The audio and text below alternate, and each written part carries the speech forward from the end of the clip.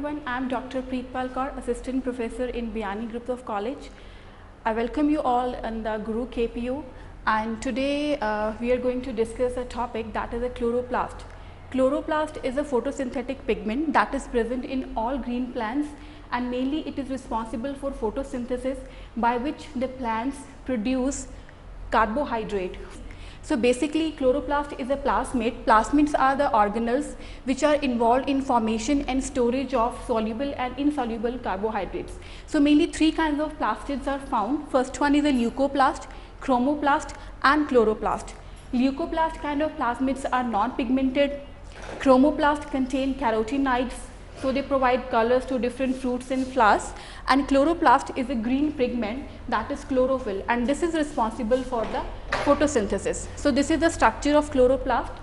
It is a double membrane bound organelle. Two membranes are there, outer membrane and inner membrane. Another the matrix of the chloroplast, it is called as a stroma.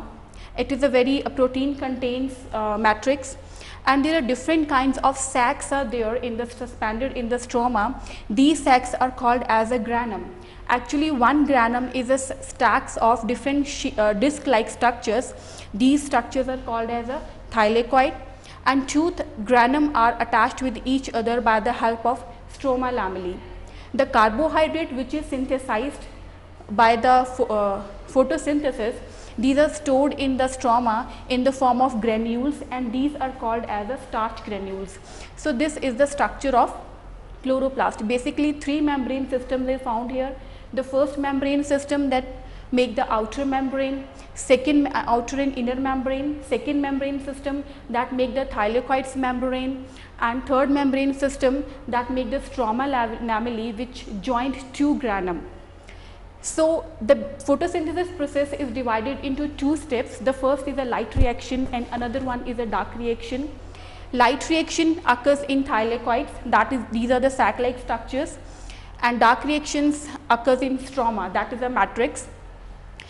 And in light reaction two kind of photosystems are involved photosystem first and photosystem second. What they do they absorb the light they harvest the light light so electron get charged and it goes to photosystem second and two products form here ATP and NADPH2 and these two products are used by the different enzymes for the carbon dioxide assimilation or carbon dioxide fixation. So, by a series of reaction these two products are used to fix car uh, carbon dioxide and formation of carbohydrate occurs and that is known as a Calvin cycle.